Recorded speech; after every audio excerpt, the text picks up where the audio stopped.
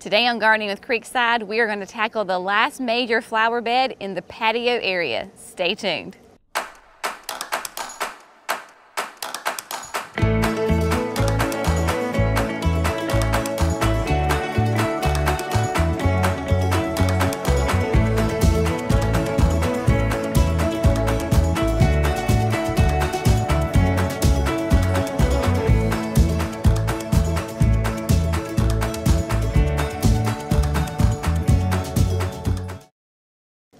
Hello friends, welcome to Gardening with Creekside. I am Jenny and today we are going to plant this last remaining major space in this patio surrounding the flower beds. We have been here a lot of times before. You have seen this space and I am excited to finally get this bed planted. So just as a little recap, remember the space that I am talking about is this area um, underneath the forest pansy all the way up to the metal edging of the walkway with that connects our driveway to the patio area. Again, we've been in this space before because the bed that is under directly underneath the forest pansy is an existing bed. It's been there for years, um, really ever since we planted the forest pansy, which was like, uh, I was pregnant with Jackson, so that would have been 11 plus years ago. Um, and so this bed has grown and developed. We've tweaked it many times before, but when we put in the pathway from the patio to the driveway area, we knew that there was really no point in having any of this grass because one, the grass here was always terrible, um, and two, to mow it would just be a really kind of a big pain. So Jenny's always going to be open for more flower beds, so we just decided to extend the entire flower bed from the forest pansy all the way up to the metal edging. Everything in here is either going to be shrubs or perennials. Um, again, this soil was absolutely horrible. It's that red clay soil. If you remember when I planted the annuals that are just directly across the path, how horrible it was. In that case, I did not amend the soil a couple of different reasons. One mainly was because I was by myself. It was hot. I just wanted to get them in the ground. They were annuals. I knew that they are not going to stay there long term. When we do put in the plants that are there long term, we will amend the soil then. As a side note, they are doing amazingly well and look fantastic. Um, but because this is going to be all perennials and shrubs, we went ahead um, we had a couple of days of good rain, first of all, so the red clay soil was looser and a little bit easier to work with as opposed to if it had been completely dry. But we came in here and Jerry has a handheld tiller um, that's small and can fit in here because yes, we have the big equipment, but this is a tight space. In order to get in here, we could mess up the metal edging, so we were having to do things by hand. Um, so he used the handheld tiller, just one, to first kind of scrape up and break up the, the soil, any kind of old leftover grass. It got that up. And then we came in here and just socked the land and sea compost to it and the aged pine bark fines. When we did that, on top of the soil, the native soil that was already um, tilled up, we created this beautiful, fluffy um, planting space for these perennials and shrubs that are gonna go in here. So again, we used a ton of that sea compost. The aged pine bark fines, aged pine bark fines, you will notice, um, are truly what they say they are. They are pine bark that have um, been aged, so they're not fresh, so they've already kind of gone through a little bit of the decomposition process. They provide the aeration for our clay soil because that's what we deal with with clay soil is that things can get compacted and you have a lot of water retention where we want to kind of help aerate that soil and get the water to be able to flow through freely. But you can see, I mean, the soil now is absolutely beautiful. He did come back through.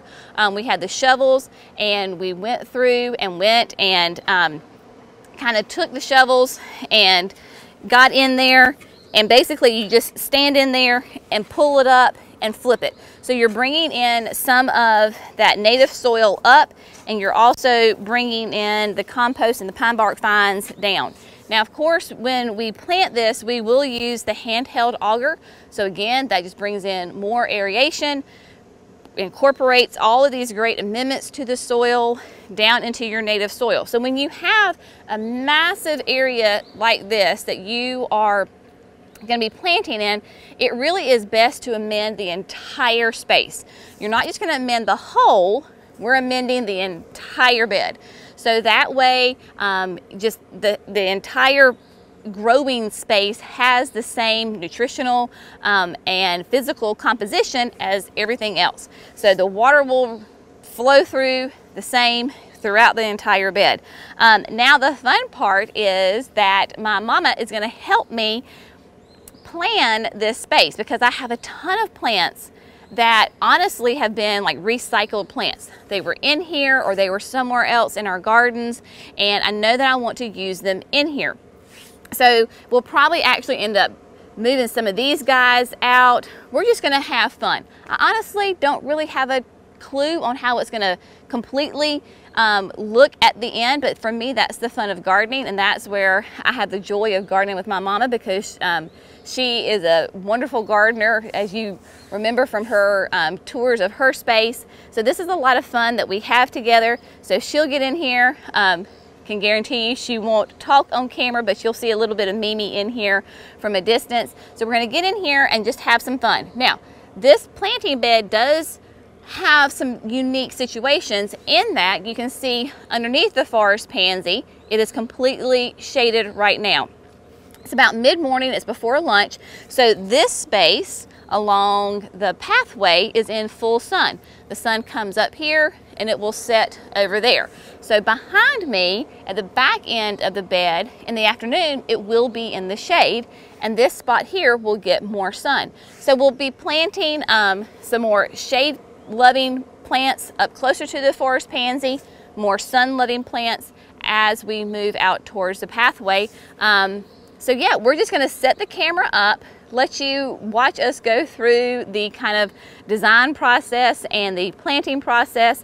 And then once it's all done, we will come back and I will explain everything to you and all of the plants that we have used in this space. So let's get to planting.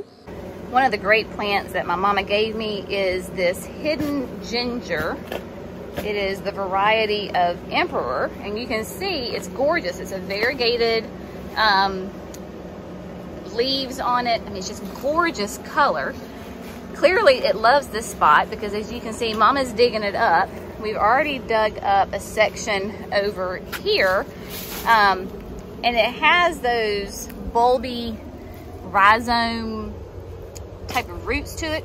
So what we're gonna do is this, because it does like it too much in here and it's getting a little bit invasive, shall we say, we're gonna go ahead and take it and use this big old huge black nursery pot. This is a 15 gallon pot.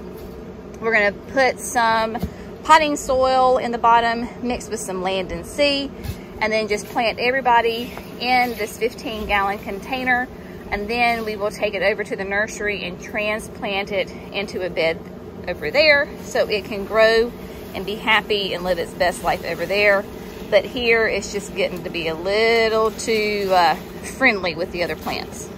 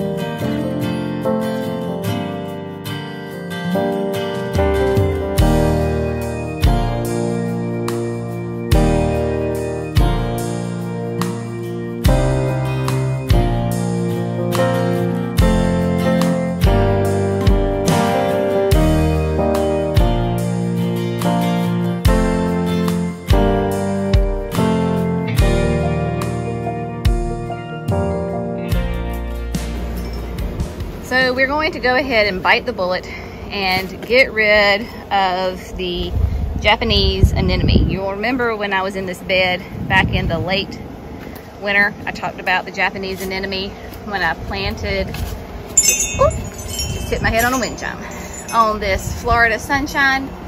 Well, Again, we're gonna we're not gonna toss these. We're gonna relocate them in an area where they can just have their way. But you can see, I mean, look, look at that, y'all.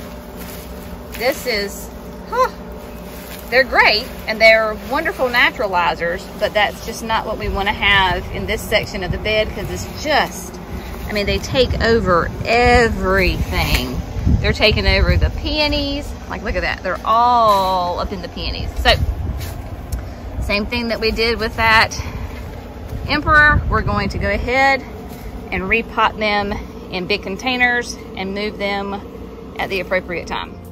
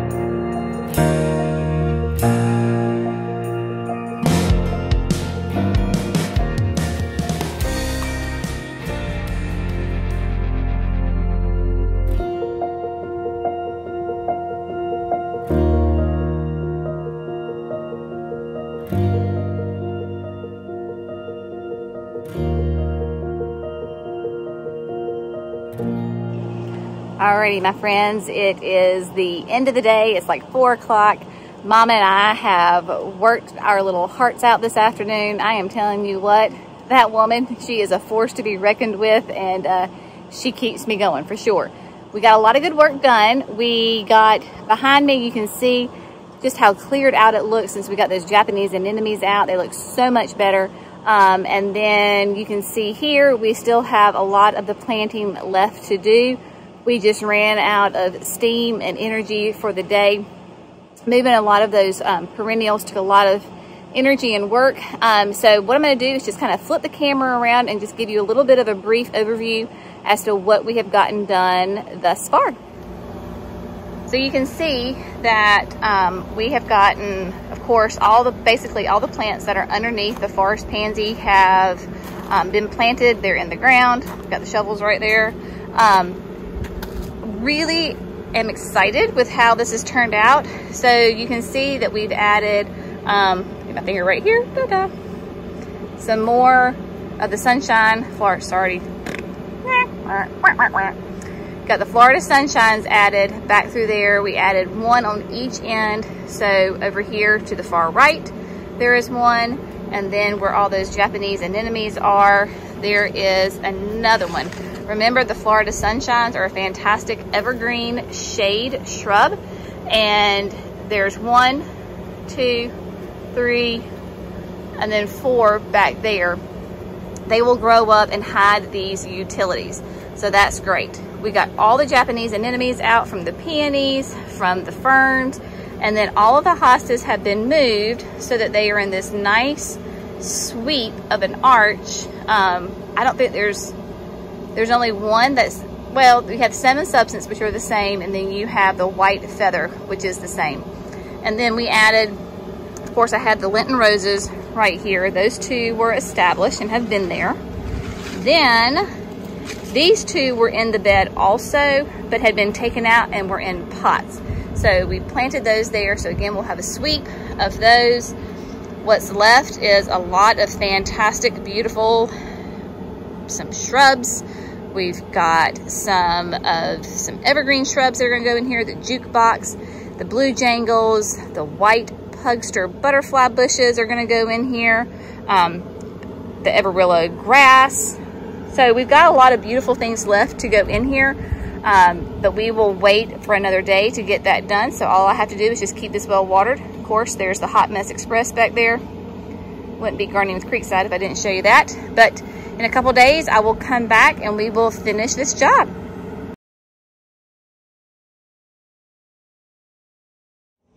Good morning, sweet friends. Welcome to day two of planting the bed behind me underneath the forest pansy. Uh, it is going to be a very hot day today. So I am out here. The sun is not even over the trees yet. I think it's like 7.30 in the morning. Um, so I am going to be out here flying solo for a little bit. Mimi will be here um, later this morning to help me finish up. But my main goal right now is to get all of these plants into the ground. Um, of course, I have my auger behind me. I've got my biotone, so everybody's going to receive that everything is placed where it's going to go. All I have to do is just get the holes dug, biotoned, and the plants in the ground. Now, I'm going to show you a little tip that we use. We learned this from an old gardener friend of ours when we first started doing vegetables for the farmer's market. And um, because we have such high temperatures coming, I think like the rest of the country is just, we're in a heat wave, it's summer. And so um, we don't have any rain in the forecast, at least for a couple of days. So what I'm gonna do is show you a little trick where you're going to dig your hole and we're gonna fill it up with water and then plant, put the plant straight in there. I'll show you exactly how we do it. This just really saturates the um, soil. It gives the plant, obviously, um, a lot of good water to begin with. First thing in the morning, it's gonna have the heat of the day all throughout this day in the summer sun and so forth and so on. So this is just a great way to get those plants in the ground, less shock on them. Um, and then of course, once I get the whole bed done, then I'll come back and water again, just on the top. Now, uh, we are gonna put this bed on irrigation, but we are having a little bit of a problem finding the irrigation tubing that we want. We're not gonna use, um, well, we are gonna use rather, I should say, the irrigate, it's early in the morning. I promise I've had coffee, but clearly words are hard this morning. Um, we're gonna use irrigation tubing that has emitters already in it, like 12 to 18 inches in there. Can't find it right now. Jerry is gonna go on a hunt for it today, so that way we can just snake it through the bed instead of like putting every individual plant on an emitter because there's so many plants in here. Um, so we're looking for that tubing. Hopefully he'll get it for me today. Um, and maybe we can come back tonight and get that laid down and then put mulch on top of it. And then this bed will be officially done. Right now, my main goal is to get all these plants in the ground before the day's heat hits. So let's get going.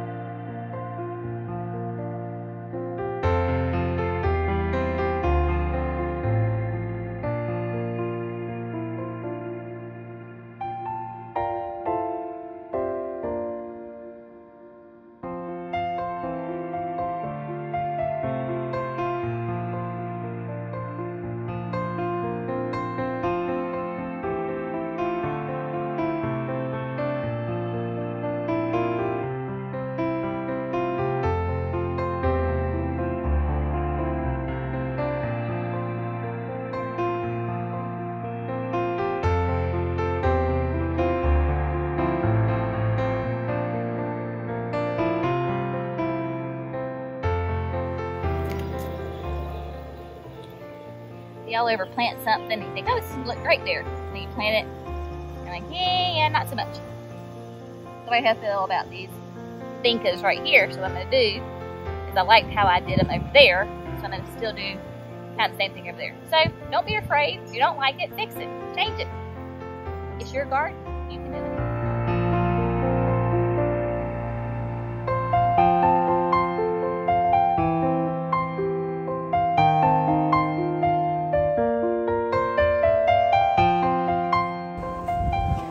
Sweet friends, we are making some great progress. I have gotten all of the shrubs in um, right before Mama came to help me, and then I put her on the task of placing and planting a couple of annuals in here. Again, I really plan in the long run that this will be mostly a perennial shrub bed, but there will be little pockets of annuals here and there, you know, just a little burst of color.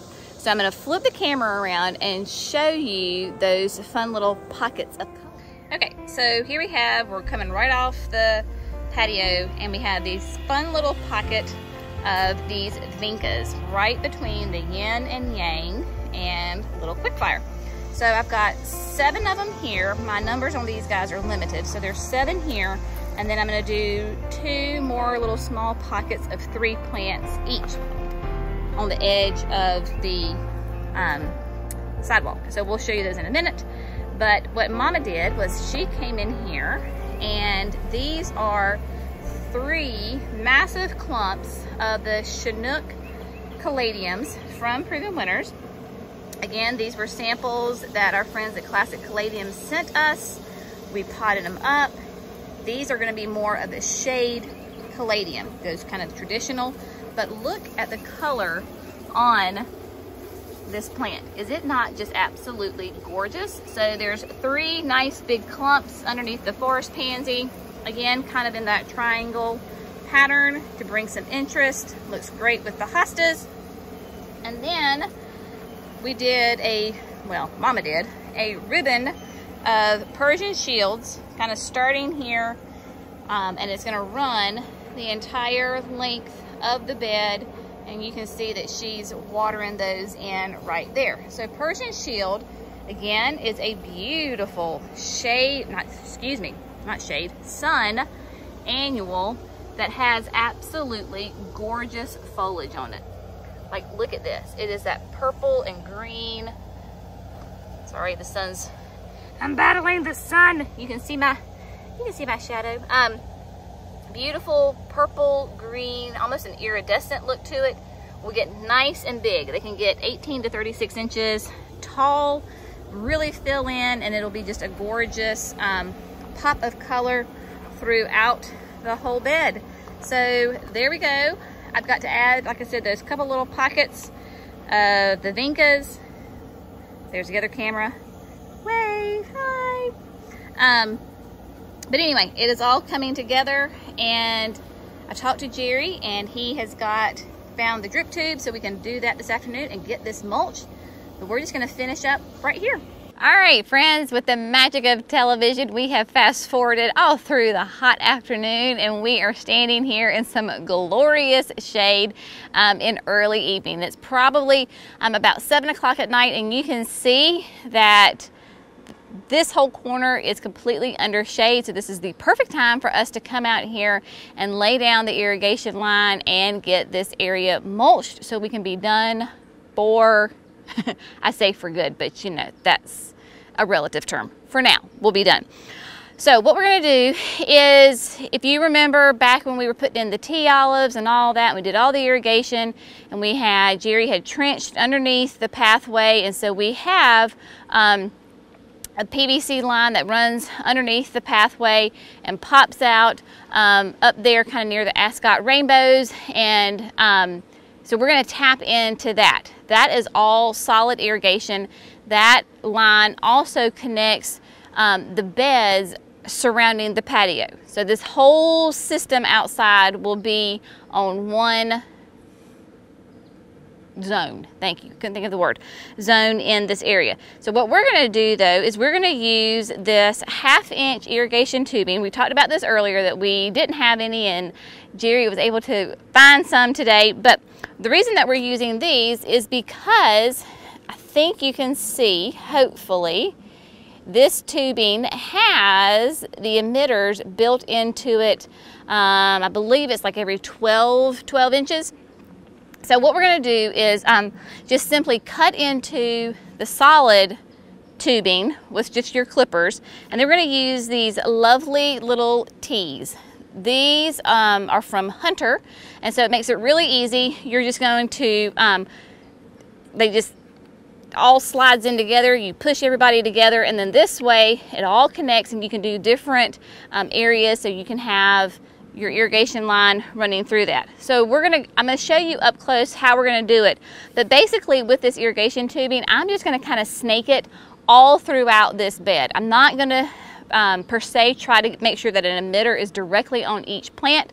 We're looking just to kind of soak the whole general area because remember, this bed has never been on irrigation before and all those plants that are underneath the forest pansy have been there, um, the vast majority of them have been there for years and have had no irrigation other than when it rains or if I do water them in times of drought. So they're just going to be happy that they're getting water. And then of course down further here, um, all the new plantings will be just fine once we get them because remember we got them really well watered in when we planted them. Get this area with some water, the mulch, and they will do great.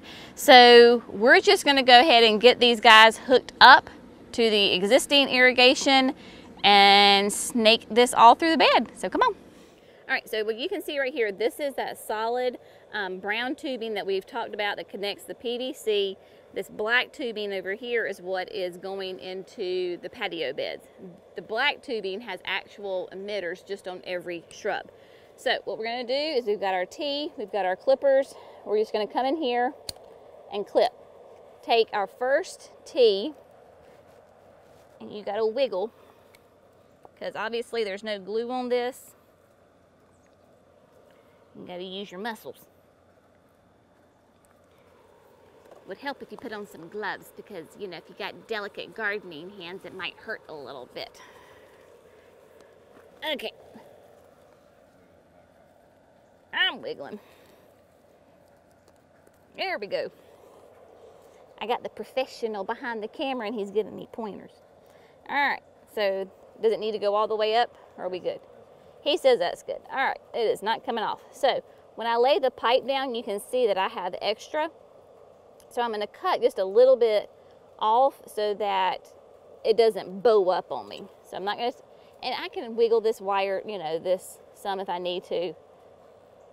It's just gonna take a little bit of off. Come over here.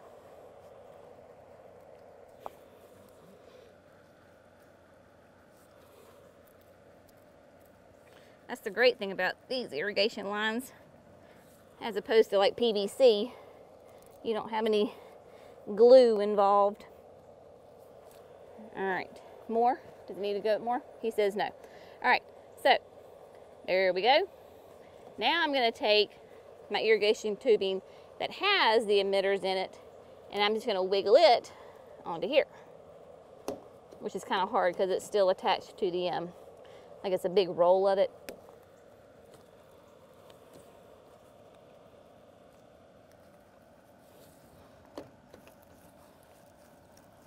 Ugh, this is where you manhandle it.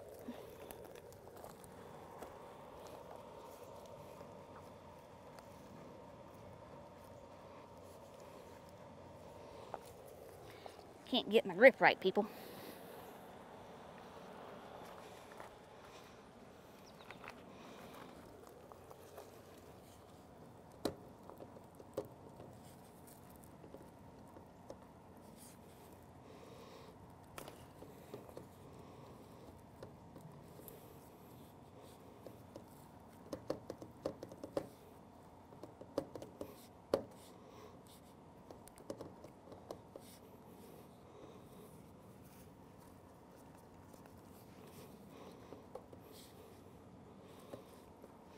Slow and steady wins the race.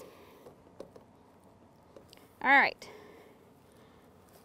It may not be the prettiest job you've ever seen, but it's on there. All right. There we go. All right. So the T is in. Now we've got this nice big roll of irrigation tubing that we are going to, um, this is definitely a two person job just because it's awkward, awkward and you will lose your ever loving mind if you try to do it all by yourself because it's twisted up. So we're gonna take the camera, step back, and just snake this irrigation line throughout the whole bed so that these plants can get some water. How do you wanna do this? You wind and I'll staple or, or you just walk?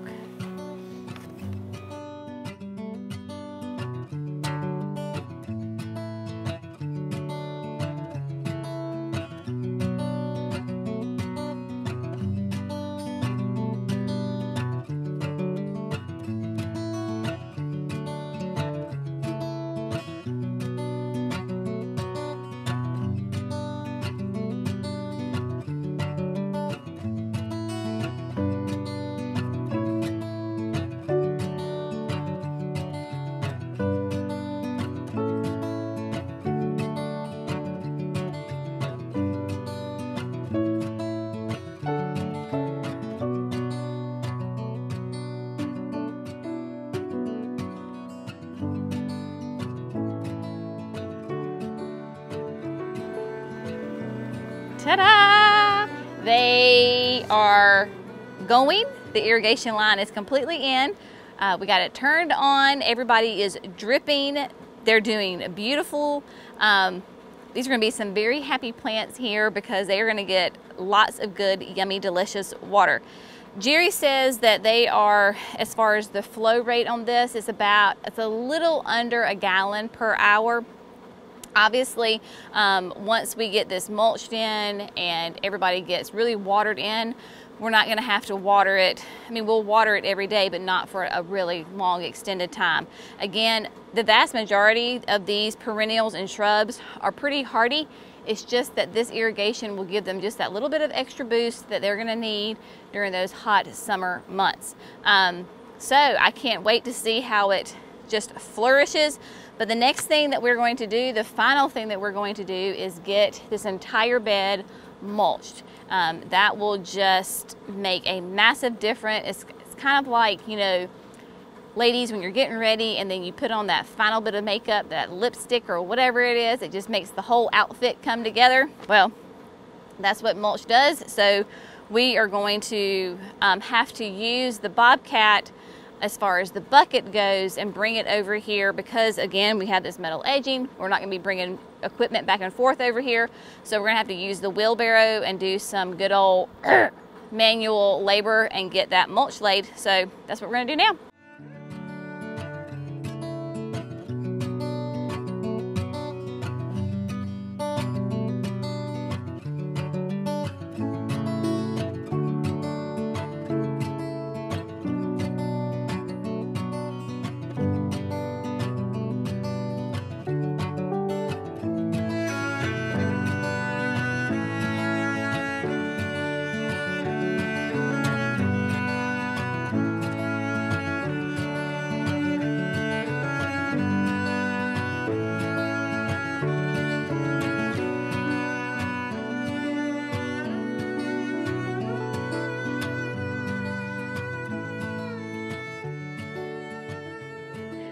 right, sweet friends, this bed is done. In fact, it has been done for a couple of days. We took um, a break after we got it, the irrigation laid down and the mulch laid because it was hot. That um, day that Mama and I finished planting all of these plants in here, I think you can tell by those videos there just a second ago, I was a little hot and sweaty and I was a little tired.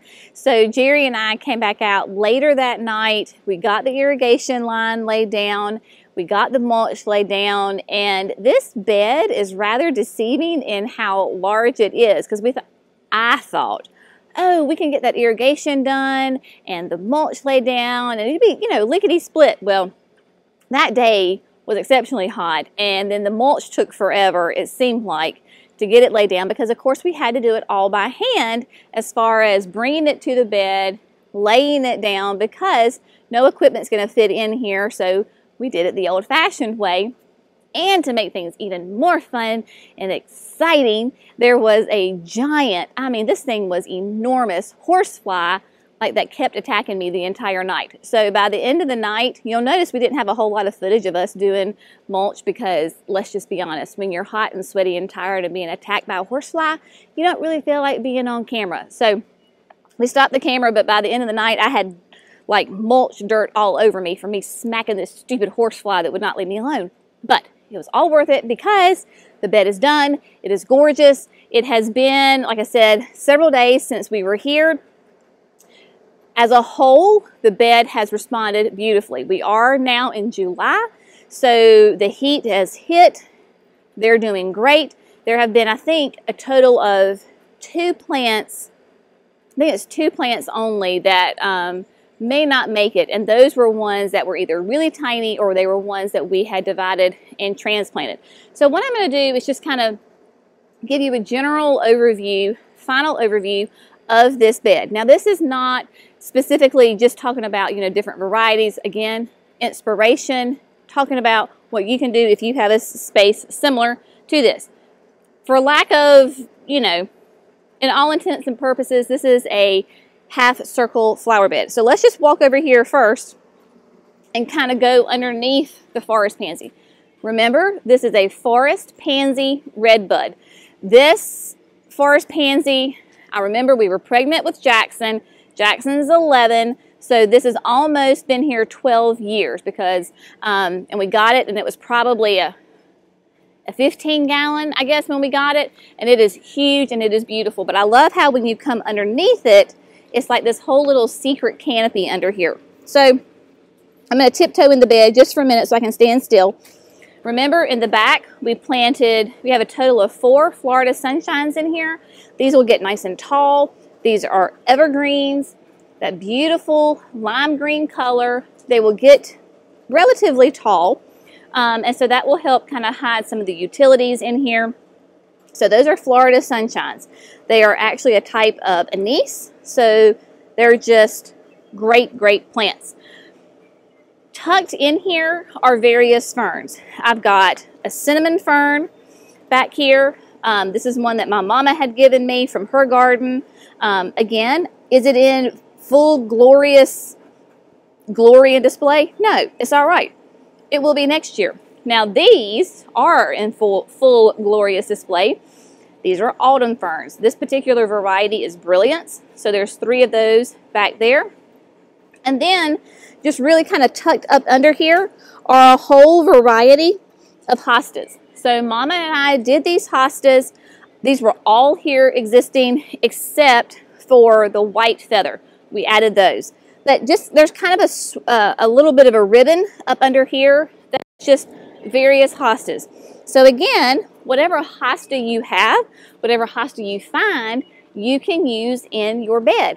Again, just when you're at a nursery and you find something fun, grab it. Speaking of finding something fun and grabbing it, Jerry and I just celebrated our 21st wedding anniversary. And so we went to the mountains in North Carolina to celebrate. And of course, we had to stop by one of the um, well-known garden centers up there. And I found this great um, crocosmia. And it is it not gorgeous? So it is just starting to bloom. It has these beautiful orange colors. Now, I know you sweet people do love a good tag. So I'm going to show you the tag because I'm not even going to try to pronounce what variety that is. But these will get about 32 inches tall, 18 inches wide. It is considered a full sun. Zones 4 to 9. It is a perennial. So this is just a beautiful, fun, whimsical display of color that is here. So yeah, even I, like when we like to go to garden centers, I like to buy plants. It's fun. Um, so also through here, remember we have the Blue Jangles Let's Dance Blue Jangles hydrangea.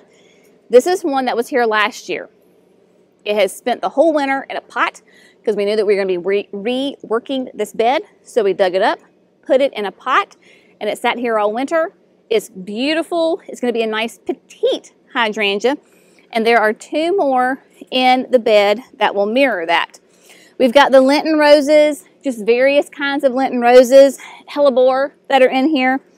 So basically remember on this bed, we work from deep shade in the back to basically full sun in the front. So I can really have a wide variety of plants in here. The sun, again, it comes up this way. So this gets the morning sun and it sets over here over my right shoulder. So this gets early afternoon shade for the rest of the day, while over there it gets that hot afternoon sun. So again, this is where it's important for you to pay attention to where your sun is, you know, where does it move within the bed, and then plant accordingly. So if you're aware of your environment and then you match the plants to fit the environment, voila, you get a great bed. So then coming down through here, I wanted to use, these are the Pugster white butterfly bushes. Nice, petite, full sun. They're going to be a two by two fantastic butterfly bush from Proven Winners. They are just an amazing plant. So we have two on the front side of the arbor and then two on the back side. I added in the sweet little vincas to have a great little annual pop of color. Um, and this sweet little thing right here, I know right now is not really much anything to look at. This is a perennial salvia that Jerry actually propagated at a workshop at Plant Delights in Raleigh. Oh my goodness. That would have been 10, 11 years ago, Jerry? I mean, it was a long time ago. This is Diane. So Diane is a kind of a low, I'll say moundy, weeping um, perennial salvia with just gorgeous hot pink blooms on it. So we were able, when we dug it up, when mom and I moved it, we were able to get three different sections out of it. Um, then we have um, the Persian shield. We talked about that. The Persian shield is running through here. Um, this is that other blue jangles. This is a fun shrub. I know I talked about this before, but this is jukebox. Jukebox is another evergreen shrub from Proven Winners. And that'll give me, I've got three of them in here. Um, just some nice structure even in the wintertime. It's just a fun, different kind of funky shape, different leaf on it. Just a fun plant. And then of course my roses are coming along, the Generous Gardener. These are the David Austin roses. They are coming up. I'm getting ready to get my second flush of blooms on them. I have had to watch the Japanese beetles on them. I think it's time to reapply my rose care on these things because those Japanese beetles are trying to eat my roses. So coming on down through here, um, you can see like this is my this is my second Diane salvia, and you can see that she's struggling a little bit. I think as long as that she keeps being well watered and kind of protected, and if I can make her last through this season, I think she'll come back. So again, I know because this poor thing had gotten really kind of destroyed when I was moving her, um, but she'll bounce back and do just fine. Um, this is the third one. Then coming over here, this is the section that gets that really intense hot afternoon sun. So we have the gardenia from Southern Living. They sent this to us last fall, trying to remember. This is why I put my tags in the ground. Oh, foolproof. So this is the foolproof gardenia.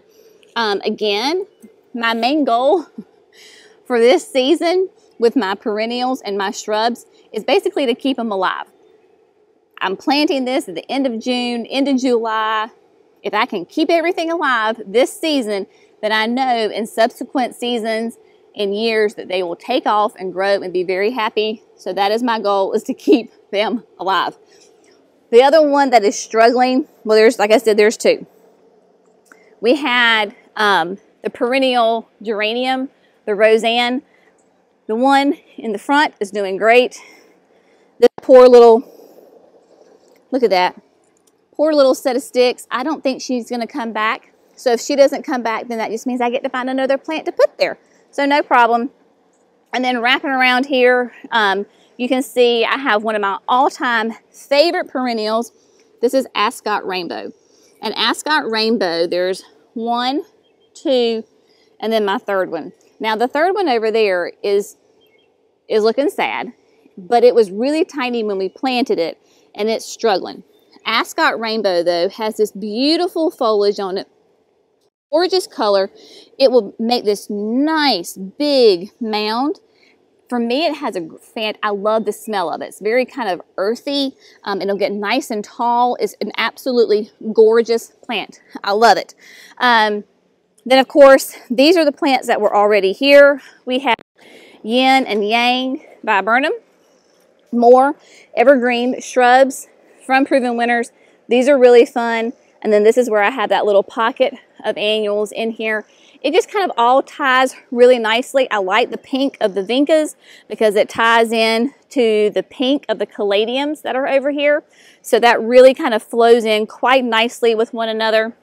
There's a little bit of pink in that little quick fire. So as long as we have colors that blend together nicely, I think it all works. As you can see, the patio behind us is just looking great. I know we've talked about this before. We will do a grand tour once we have it all finished. Um, there's a couple little things that we have left to do, but it's doing great. I love how the white chiffon Rose of Sharon here on the corner is doing. When Christine gave that to me, gosh, I guess it would have been two years ago now we already kind of had plans of what we were going to do here, and I knew exactly that that's where that white chiffon was going to go. I have affectionately called her Rose of Christine now, and she is beautiful. She has just started blooming. She'll get nice and tall and fill in this corner quite nicely. Um, but this bed, you know what? This is this is one of those beds where I have fun. I have always had fun in this bed because it's continually evolving. As the tree gets bigger, I get more shade. So I get to add more plants into it. The plants that I started with, of course, are growing, so I get to move them, divide them if I want to, take some out, put them somewhere else. The plants that we did take out of here, we took out those Japanese anemones, we took out like a crinum lily, we took out that wild ginger. All of those plants are being saved and they're going to be moved to gardens. They're going to be created at the nursery um, this fall and into winter. So I'm not throwing anything away. We're not being wasteful. We're just taking you out, putting you in some holding tubs to be later planted somewhere else. That's the joy of gardening. It is always changing. It is a not a static sport. It is always changing and having fun and just going with the flow. It's just gardening. It's fun. So um, again, hope this has been some inspiration. Of course, we'll keep you updated on this. These plants here in the front, are going to get nice and big. They're going to fill in. So if you're like, well, Jenny, there's holes here or there, I'm not worried about it because they're going to grow. I plant thinking of the future, mature size, how big are things going to get. If there's little pockets that I want to fill in, I can pop some annuals in there. No big deal. This has been a fun project a hot and sweaty project for most definitely for sure, um, but I'm glad that it is over because now we can enter kind of more into maintenance mode instead of constantly building and, and planting and just kind of enjoy the fruits of our labor. So we of course, we'll keep you updated on how things are going here. Um, but thank you so much for gardening with Creekside. We appreciate you. Y'all have a fantastic day, and we'll see you in the next video. Bye, friends.